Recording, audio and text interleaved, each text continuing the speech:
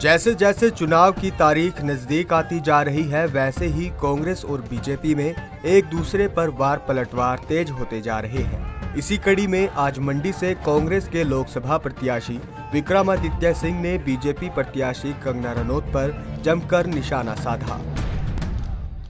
अब ऐसा है ना, जैसे एक दिया होता है, जो बुझने से पहले बहुत फटफड़ाता है। तो वैसा ही समय है, अब दस दिन रह गए हैं।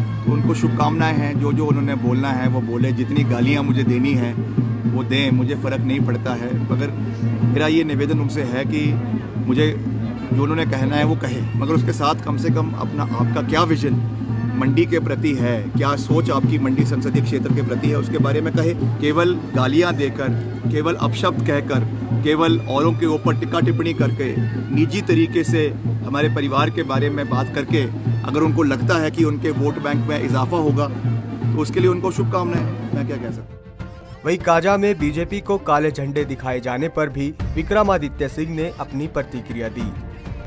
दुर्भाग्यपूर्ण है इसमें कांग्रेस का कोई लेना देना नहीं है। उन्होंने जिस तरीके की आपत्ताजनक टिप्पणियाँ आदरणीय आदरणीय मोहतरमा जी ने करी थी पूर्व में, दलाई लामा जी के बारे में, जो एक बौद्ध धर्म में उनके लिए भगवान है, उनके स्पिरिचुअल गुरु हैं, उसकी रिजेंटमेंट थी लोगों में और उसका उन्होंने वहाँ पे विरोध किया। इसका कांग्रेस से क्या लेना देना है? ये उन लोगों की जो जो एक सम्मान आदरणीय दलाई लामा जी के बारे में है तो निश्चित तौर से उसका विरोध हुआ। उन्होंने पहले भी इस तरीके की टिप्पणियाँ कभी सरदारों के बारे में करी है, उनको खालिस्तानी बताया कभी हमारे जो आपके किसान हैं, उनको खालिस्तानी बोला। दलाई लामा जी के बारे में टिप्पणियाँ करी, जो एक बहुत ही वरिष्ठ आदमी है, नोबल पीस पाइस जिनको मिला हुआ है।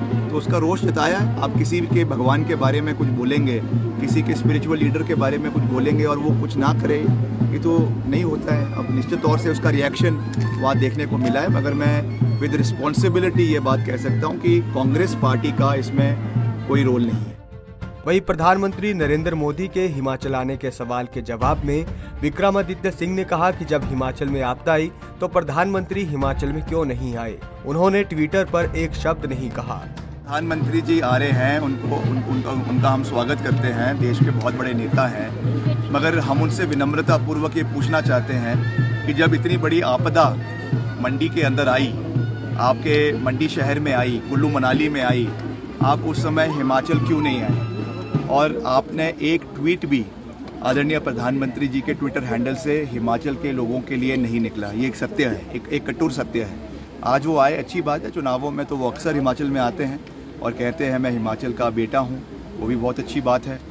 मगर अब वो घिसे पिटे भाषण सुनकर उसे पू बड़ी के भाषण और बदाना के भाषण झोड़ के भाषण सुन सुनकर जो है अब लोगों के कान पक चुके हैं। तो अब ये चीज़ें ज़्यादा चलने वाली है नहीं।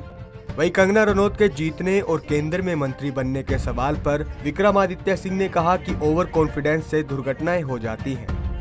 अच्छी बात है बनेंगी तो बहुत शुभकामनाएँ उनको। और उनके बॉलीवुड के करियर का फिर क्या होगा?